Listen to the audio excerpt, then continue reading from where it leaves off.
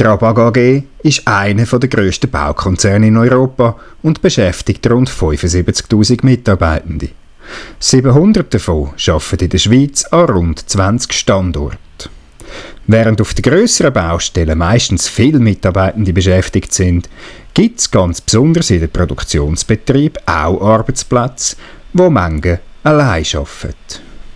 Die Anzahl der Alleinarbeitenden bei der Strabag ist zwar überschaubar, aber das Gefahrenpotenzial für die Mitarbeitenden ist nicht unbeträchtlich. Darum hat die Lösung gehen müssen.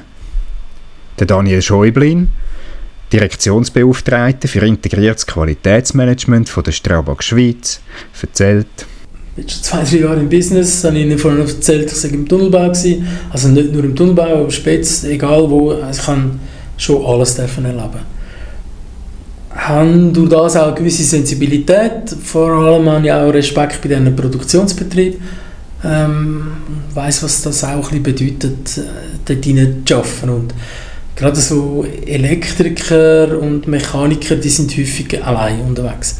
Ob jetzt das alles richtig und irgendwie konform ist, sei dahingestellt, aber das ist Tatsache. Ja, das eine ist, dass er halt äh, sich nicht mehr einklemmt, kann aber auch ein Kreislaufproblem oder irgendetwas, also einfach, dass er einfach die Möglichkeit hat, äh, also es ist Alleinarbeit, das heisst, wir müssen ihm irgendeine Möglichkeit bieten, einen Alarm abzusetzen. Eine erste Lösung hat es bereits im Jahr 2018 gegeben. Die Strabag hat Notfalluhren beschafft und verteilt.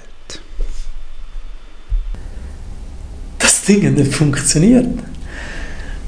Und Ganz primitiv und einfach. Irgendwo in der Kiesgrube, zu unterstunden, zu hinterst hinten, hat es einfach keinen Empfang. Der Daniel Schäublin hat das Thema eine Weile lang mit sich herumgetragen, ohne dass eine vernünftige Lösung in Sicht gewesen wäre. Also Ende 2022, also einige Jahre später, sind wir per Zufall mit LiveTech in das Gespräch gekommen, dass es ein, ein anderes Modell gibt. Im, sage jetzt, sieht, optisch sieht es ein bisschen aus wie ein Pager von der Feuerwehr. Äh, dass das Kind eventuell eine bessere Abdeckung hat.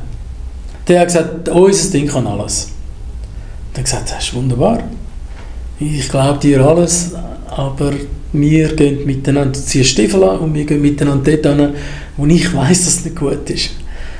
Und das haben wir gemacht und das haben wir in der ganzen Schweiz gemacht. Also wir sind in Zedrum wir sind in, in dem äh, Hohen Tannen, hinterst hinten zu unterstunden und in dem Duliken oder in, im Belagswerk, wo nur Stahl ist und nur alles rattert und, und Fehlsignal, alles Mögliche hat.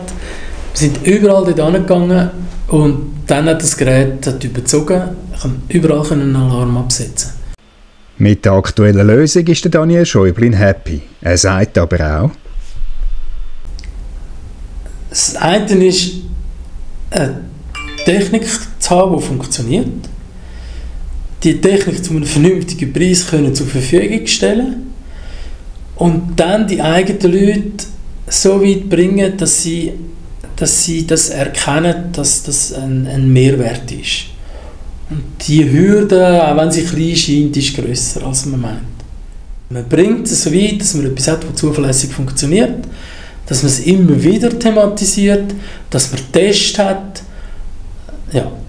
Und mir ist ja gleich, wenn es nie, äh, nie scharf muss gebraucht werden, aber es muss funktionieren.